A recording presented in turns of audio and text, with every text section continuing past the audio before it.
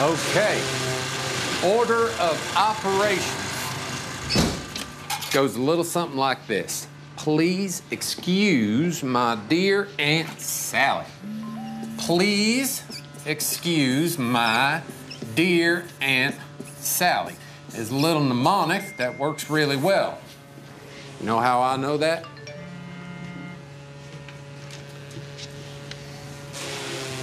Because it's probably been 20 years since I've done any algebra and I still remember it. So, who can tell me what P stands for?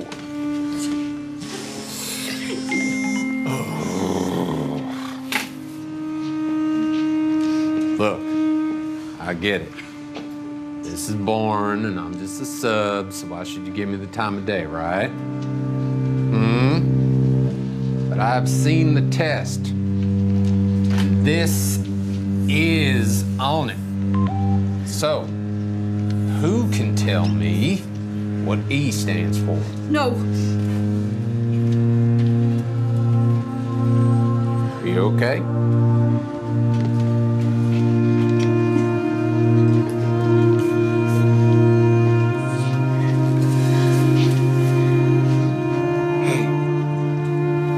Can I take a look at this?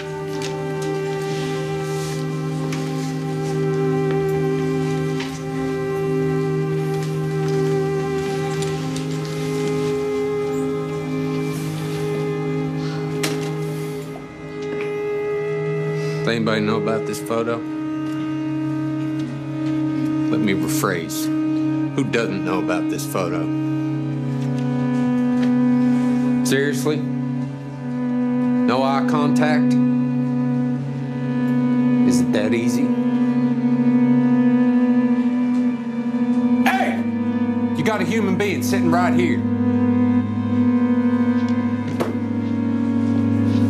Anybody think about that before they hit send. Give me your phones. There! Now! Phone!